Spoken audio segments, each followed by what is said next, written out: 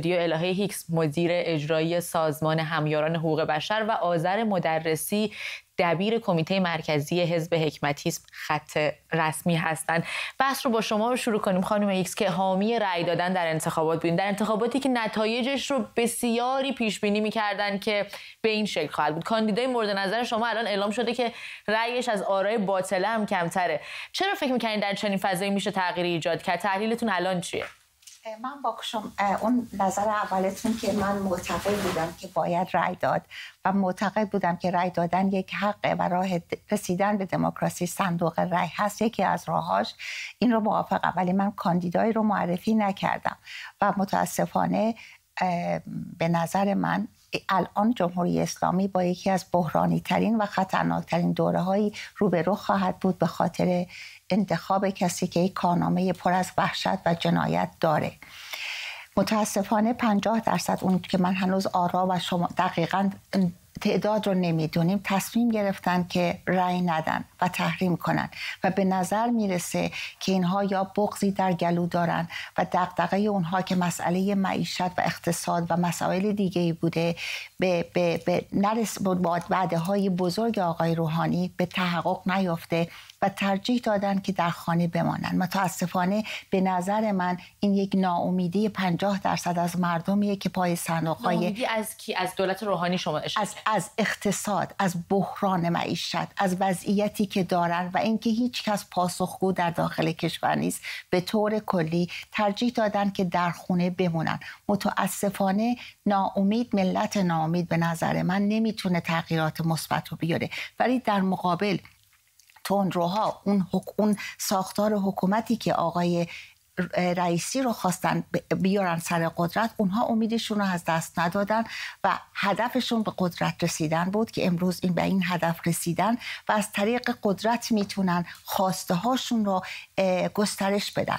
و متاسفانه این برای آینده ایران برای ماها و روزهایی که در پیش داریم روزهای خطرناک و بحرانی هست به نظر من. اجازه بدین که تحلیل خانم مدرسی رو هم بدونیم از این عدم استقبال از انتخابات ریاست جمهوری که خانم هیکس معتقدن که ناامیدی و بخش اعظمش از مشکلات اقتصادی. به نظر شما چه مفهومی داره این نتایجی که الان شکل گرفت و اعلام شد؟ ببینید ما بعد از انتخابات با یه جمهوری اسلامی بسیار ضعیفتر روبرو هستیم. من فکر نمی کنم جمهوری اسلامی علیرغم اینی که یکی از منفورترین شخصیتاش الان رئیس جمهور شده تو موقعیت قوی قرار داره.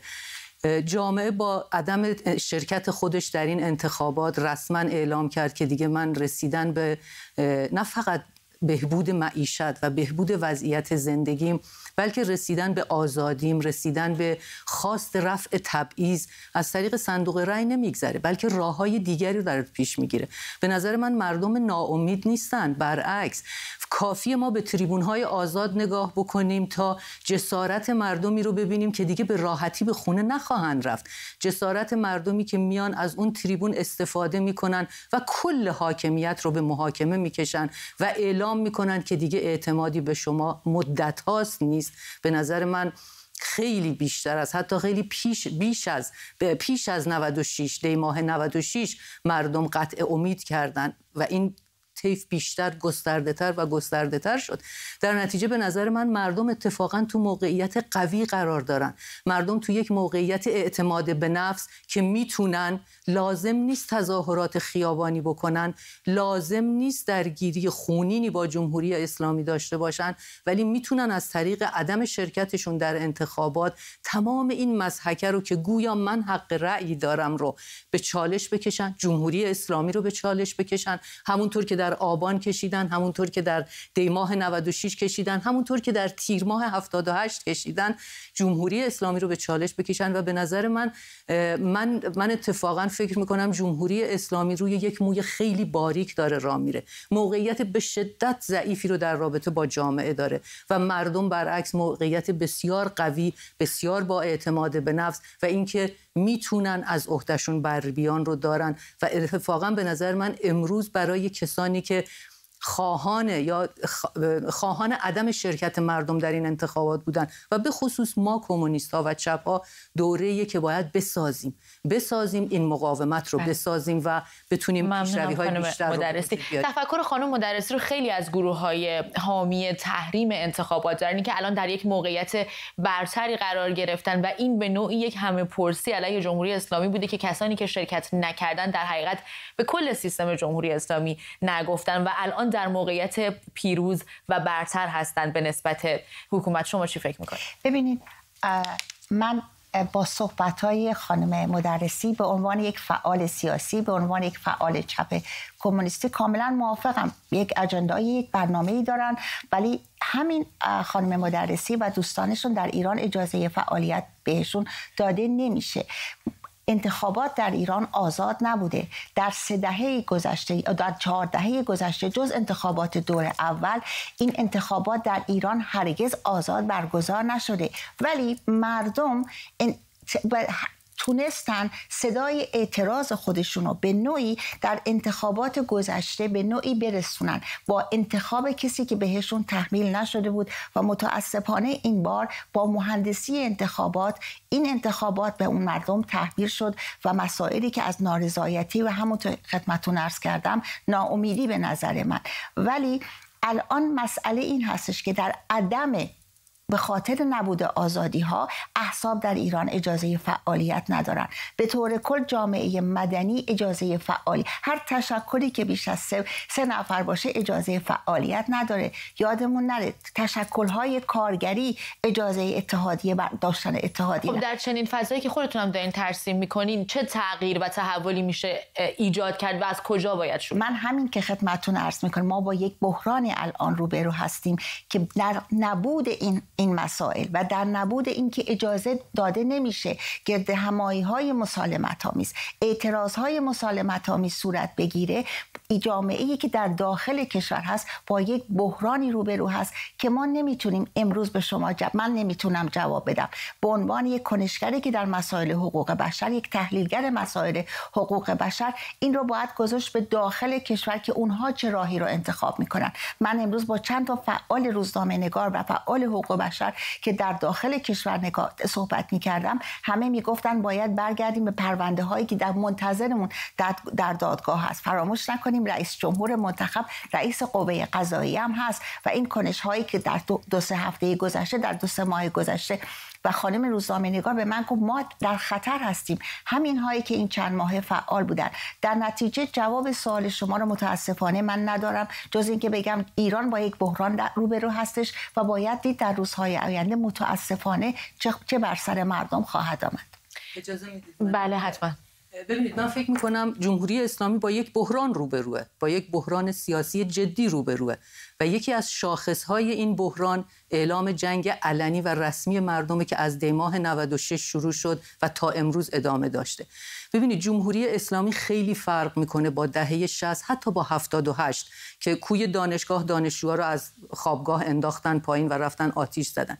امروز هر روز شما شاهد ده ها اعتراض کارگری هستید و جمهوری اسلامی ناتوان از سرکوبه اینطور نیست که قدرت به اصطلاح نظامی و اوباشش رو نداره. ناتوان چون می‌دونه یک سر سوزن رو در روی با کارگری که زیر خط فقر زندگی می‌کنه می‌تونه باعث یک خیزش دیگه بدتر از دیماه براشون بشه.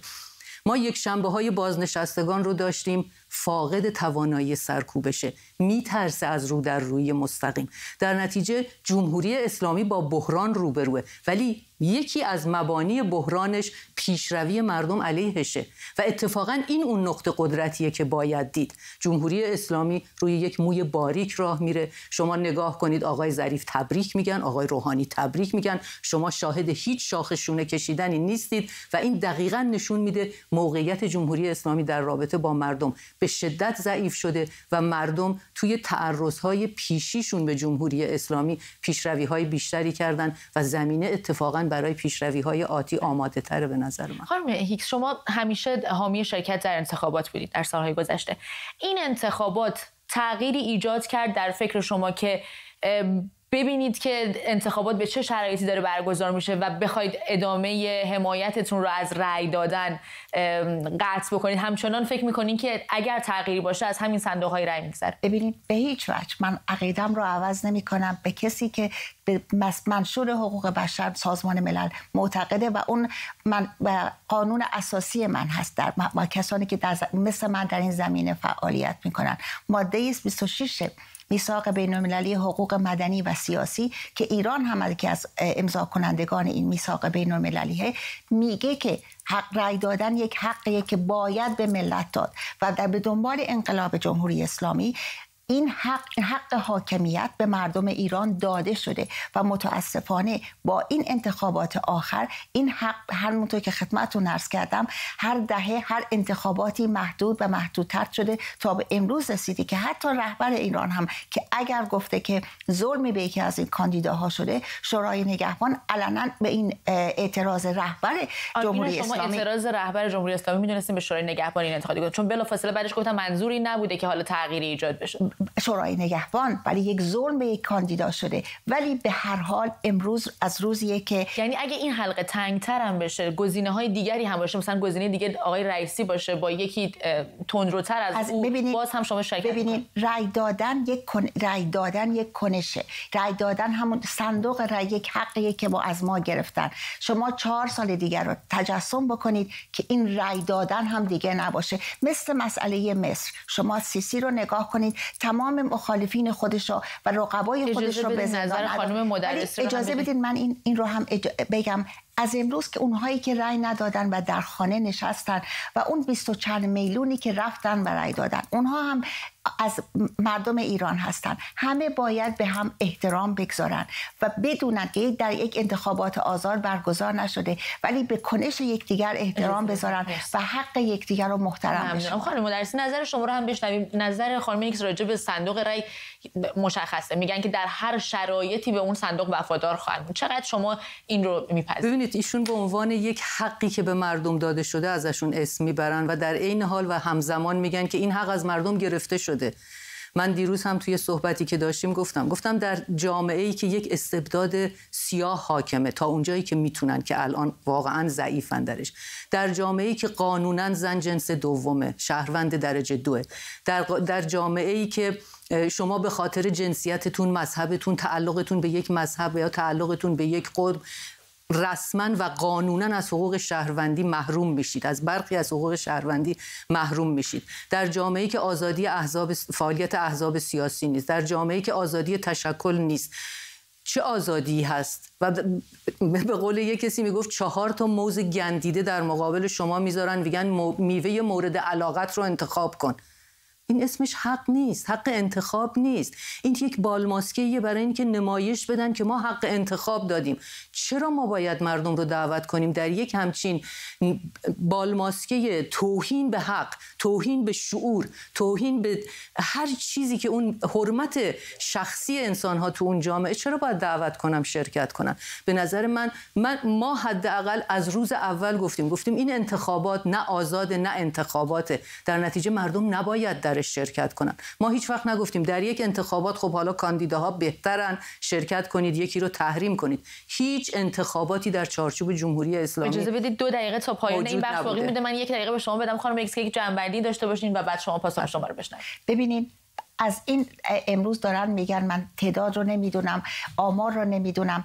نفر دوم این انتخابات برنده این انتخابات رأی باطله هست. اون کسانی که از این حقی که داده استفاده کردن و به این طریق یعنی میگن در تاریخ در دنیا این چیز بی سابقه هست که حدود چهار پنج میلیون نفر من تعداد رو نمی‌دونم ولی نفر دوم این برنده این انتخابات آراء باطله هست و این یک اعتراضی که دنیا امروز روش حرف می‌زنه. اگر این آراء باطله نبود چی بود؟ این یک یک کنش کنشگری هست و به نظر من مثبت هست و به انضمام اون 4 8 9 میلیون 5 6 میلیون من تعداد رو نمی‌دونم که با آقای رضایی به اون نفر به اون نفر رأی دادن. اینها رفتن و صداشون رو به صدای آقای کسی که حاکمیت می‌خواسته بهشون تحمیل کنه به صورت دیگه ای بیان کردن. البته بعضی هم معتقدن که همون تحریم هم یک اکت و یک صدا دقیقا کسانی که شرکت کردن که حداقل اگر آمار جمهوری اسلامی رو فرضمون به درست این باشه که دروغه 70 درصد بالاتر از 70 درصد مردم ایران شرکت نکردن. خب اون 70 درصد هم با عدم شرکتشون در این انتخابات گفتن ما قبول نداریم. ما این مذهگه رو قبول نداریم. ما این بالماسکه توهین به شعور خودمون رو قبول نداریم و ما وارد این بازی نمیشیم و صدای خودشون رو خیلی رسا به نظر من خیلی رساتر از چهار میلیون رأی باطله به تمام دنیا رسوندن و مهمتر از هر کسی به جمهوری اسلامی رسوندن این در زمانی هستش که آزادی احساب باشه آزادی ف... آزادی جامعه مدنی باشه. در کشوری که جمعیت امام علی که یک جمعیت واقعا خیریه هست رو تحمل نداره. چطوری می‌تونین مردم داخل کشور؟ خب همه این تناقض صحبت شماست. این تناقض دقیقا صحبت شما رو یعنی تناقضی تو حرف خود شما. در جامعه ای که هیچ آزادی وجود نداره حتی همدیگر رو تحمل نمی‌کنن.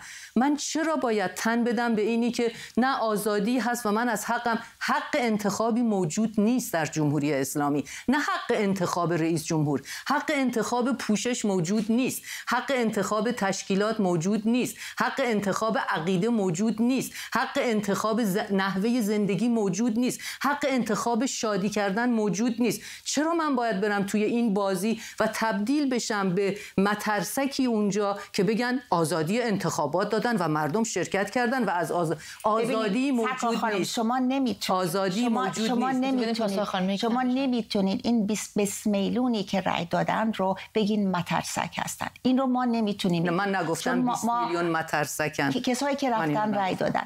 ببینید جمعیت امام علی علا رقم اینکه وزارت کشور آقای روحانی هم این اجازه من اجازه رو صادر کرده و دادگاه آقای رئیسی هم من کرده ولی دارن کارشون رو ادامه میدن و صدها دیگه سازمان های غیر دولتی دارن در تمام این محدودیت ها کار می‌کنن. اگر اونها می‌تونستن این این رأی رو که مردم نرفتن من قبول می‌کنم مردم تحریم کردن اگر سازمان های داخل کشور بود که می‌تونست این نیروی ناامید رو رهبری بکنه خیلی موثر بود. ولی متاسفانه ملتی که ناامیده ملتی که قهر بکنه با صندوق نمی‌تونه تغییرات مثبت رو به, تحقق بپیونده. خب من فکر می‌کنم مردم ایران ناامید نیستن. کافی شما من بازم مراجعه میدم. رجوعتون میدم به تریبون های آزاد. این مردم ناامید نیستن.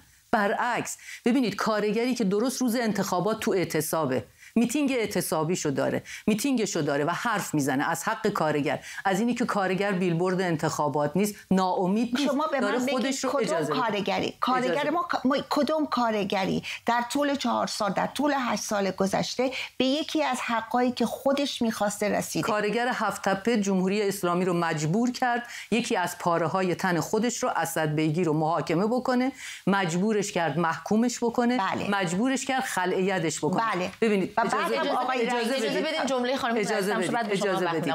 در نتیجه برای همین میگم شما وقتی فضای سیاسی جامعه رو نگاه می‌کنید جامعه اتفاقا امیدواریه. جامعه با اعتماد به نفسیه. جامعه که می‌دونه می‌تونه از هر طریقی که بخواد جمهوری اسلامی رو. اجازه, اجازه بدید. ما فقط الان از هفت تپه سخن بگیم که مس... یک ابزار سیاسی آقای رئیسی شد و به اونجا رفتن و این این عمل سیاسی رو انجام دادن حق رو از این آقا گرفتن و دولتی کردن. روز بعد هم آمدن آبشون رو قطع کردن و حقوقاشون رو ندادن و اگر هم صدایی از کسی در بیا زندانش می‌کنن. حتی وکیل هفت تپه برای 6 سال در چنین شرایطی بوده که برخی تصمیم گرفتن که دیگه رأی ندن و اجازه ندن که از رأیشون من قبول من صحبتش ببینید صفحت شما 50 درصد رأی ندادن با جدین شرایط ولی متاسفانه در قیاب در قیاب کسی که بخواد این این, این رو رهبری بکنه جنبش اصلاحات از هم پاشیده شده. شما در هفته هایی که در بود هفته های گذشته دیدید جنبش آقای کروبی رأی میده آقای خاتمی رأی نمیده خانم فائزه اگر در سی ثانیه پاسخ شما رو بشنویم چون بعد بریم من تنها چیزی که می‌تونم بگم اینه که ببینید جدال یه جدال اینطوری نیست که همیشه سر بالایی میره یا همیشه سر پایینی میره. یه جدال یه کشمکش عقب نشینی می‌کنن پیشروی می‌کنن. جنبش کارگری پیشروی هایی کرده. آقای رئیسی سعی می‌کنه ازش سوء استفاده بکنه. اجازه بهش ندادن. و این اون نقطه قدرتیه که من می‌بینم ممنونم از میهمانانی که اینجا همراه من بودن. آذر مدرسی و الهه هیکس.